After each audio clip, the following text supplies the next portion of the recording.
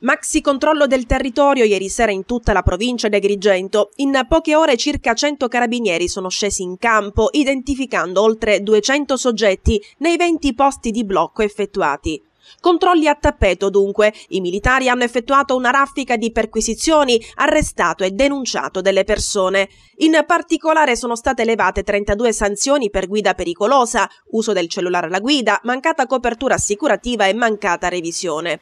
In due casi è persino scattata la denuncia per guida in stato di ebbrezza. Sono state ritirate sette carte di circolazione e altrettanti i mezzi sequestrati.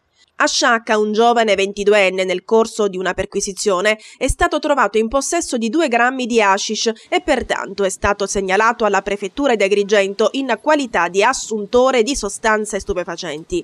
Accertamenti e verifiche sono stati eseguiti anche nei confronti di 40 persone sottoposte a misure cautelari e alternative alla detenzione e in un caso è stato sorpreso e arrestato ad Aragona un ventenne straniero trovato a spasso nonostante fosse fosse sottoposto agli arresti domiciliari. In manette è finito anche un 36enne di Sambuca di Sicilia e accusato di lesioni personali commesse durante una violenta lite in famiglia. A Bivona invece i militari a seguito di una perquisizione hanno beccato un giovane di Santo Stefano di Quisquina con un coltello a serramanico lungo circa 16 cm. Anche per lui è scattata la denuncia all'autorità giudiziaria con il sequestro della lama.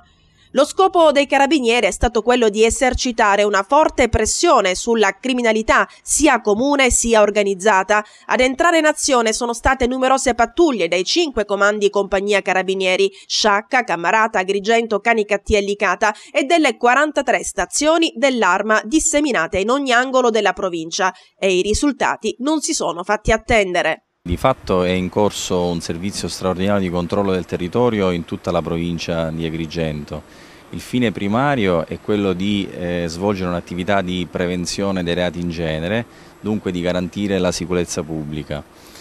È un'attività a cui teniamo molto, che serve ad infondere un maggior senso di sicurezza ai cittadini e eh, in particolar modo durante il fine settimana anche per la prevenzione del cosiddetto fenomeno delle stragi del sabato sera. Una delle finalità eh, di questi servizi è proprio quella di eh, indurre i giovani eh, a, al rispetto delle regole previste dal codice della strada. E si rischia sicuramente una denuncia all'autorità giudiziaria qualora dall'esame eh, mediante apparato eh, etilometro eh, risulti, si risulti positivo all'alcol test.